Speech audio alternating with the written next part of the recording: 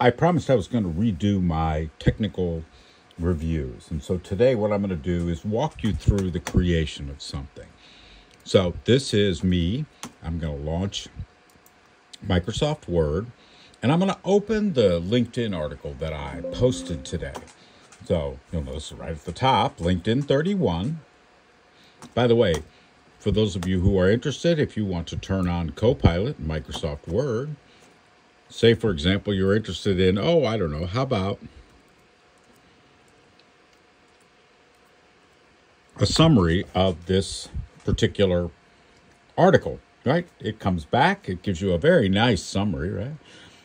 Here's a summary of the document. The document discusses the author's concerns and perspective on the transition from digital transformation to information age, emphasizing the role of artificial intelligence in digital identity systems.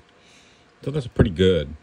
Right. So then what I'm going to do is file and I'm going to do a save as and I'm going to save this as a PDF because that's the rest of what we're going to do here in just a couple seconds. So I do file save as PDF. It's going to say replace it because I, I obviously tested what I was doing beforehand. It opens up Adobe. I absolutely love uh, Adobe because it's really good. And yes, I do have a full license, and yeah, I absolutely love it and use it all the time. Uh, it is a, a tool set that I frequently use. Now, you'll notice that there is no browser open. So I'm going to open, and this is uh, Google Chrome. You don't have to run this tool. It is a Google tool. Uh, you don't have to run it with uh, Google Chrome. Uh, this is the uh, Gen 3 Alpha version or uh, what is Runway. But we're not playing with Runway today. We're playing with the wonderful new toolkit called Notebook. Notebook LM from Google.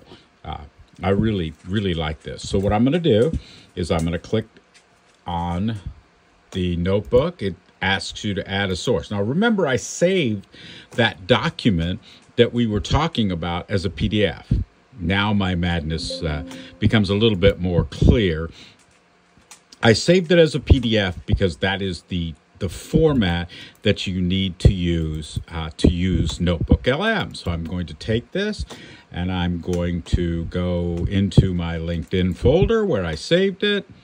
And you'll see there is a PDF, LinkedIn 31. I'm going to double click on that and it's going to pop up and now I'm going to generate the podcast. I will share the podcast on my Patreon so you can go uh, download it. I will not put it on the, the charge version. I haven't set that up yet anyway. Um, but now you have uh, a summary over here on this side, right? So the source discusses the evolution of technology and the concept of the information age. The author argues that we are currently in the age of machine intelligence characterized by systems like large language models that can process and generate information but cannot yet write their own code. So, you know, we're it's pretty close. I, I would say of the two, Copilot was probably a little bit more spot on to what I was trying to do.